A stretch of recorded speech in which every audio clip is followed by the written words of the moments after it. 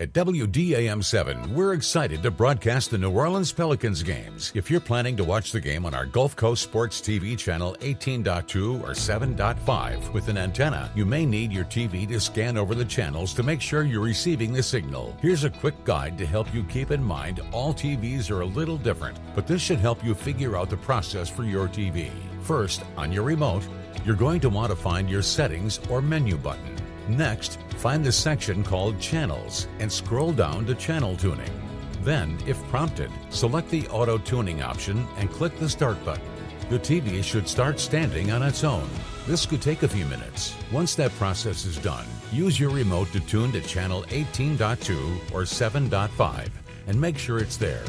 If not, you may have to adjust your antenna and go through the process again. Go back to our website to see tips for adjusting your antenna.